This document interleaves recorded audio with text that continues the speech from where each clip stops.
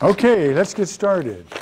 Uh, we're going to begin a new chapter uh, on generating functions. And uh, this is going to be neat stuff, but we're going to do it very, very quickly.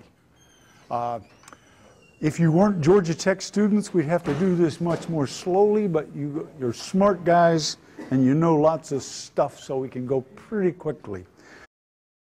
So here's some, here's some little analysis that's just kind of fun. Uh, I like this. So I'm going to start with a line which is the formula for the sum of a geometric series. You remember the, the formula that you learned back in, probably in high school, but, but also you did it in calculus, that when you have a geometric series and you add up all the terms, the formula is first term over 1 minus the ratio. You remember that? So if I write the geometric series 1 plus x plus x squared plus x cubed, et cetera, et cetera, et cetera, the first term is 1 and the ratio is x. So the formula is first term 1 over 1 minus ratio 1 minus x. So there's your, your infinite series form for the expression 1 over 1 minus x. All right, now let's take that expression and substitute into it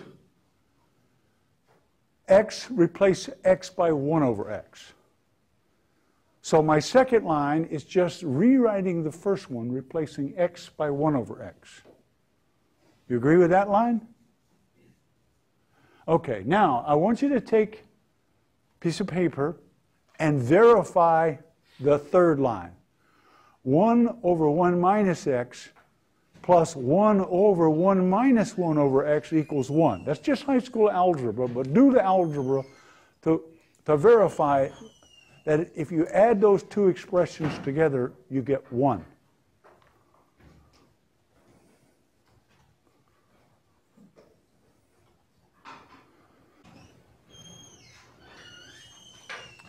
I can, if you're, if you're a little bit, you know, nobody should be stuck on this, but if we do it out loud, look at the second one. The 1 over 1 minus x, if you get a common denominator, it's x minus 1 over x. Then the x in the denominator flips up in the numerator, so it's x over x minus 1. And then change the sign, make it minus x over 1 minus x. So then it's 1 minus x over 1 minus x, and that's 1. Okay? So the sum of those two fractions is 1.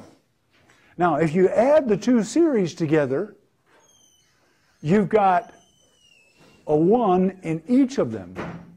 So if you subtract 1, you get 0, but then you get that big long expression, that series is 0. It's valid. We checked it. And I challenge you to explain how you can add up a bunch of numbers, all of which are greater than or equal to zero, and get zero.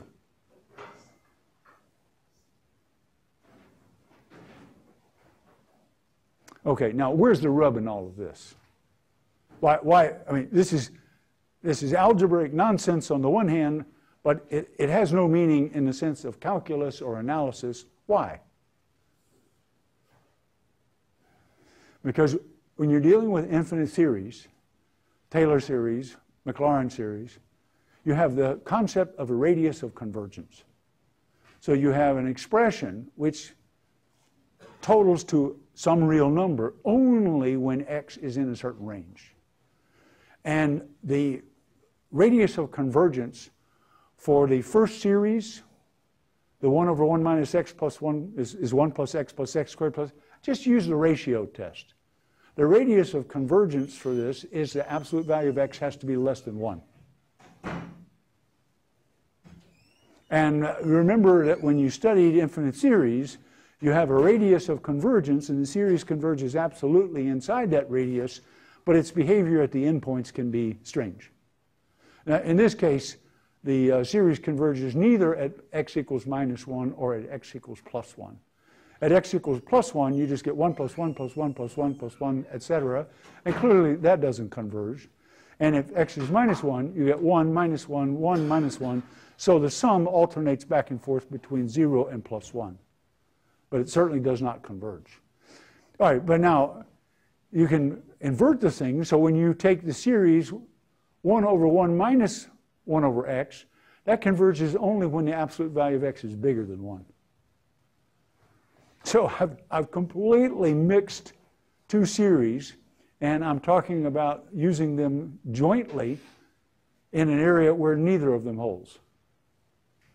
Yeah. So uh, it isn't quite nonsense. It's, it's, uh, it doesn't have any meaning in terms of real number calculations. The study of generating functions is full of examples like this where we will talk about functions which have no meaning in the sense of calculus, but they have meaning to us for a different reason.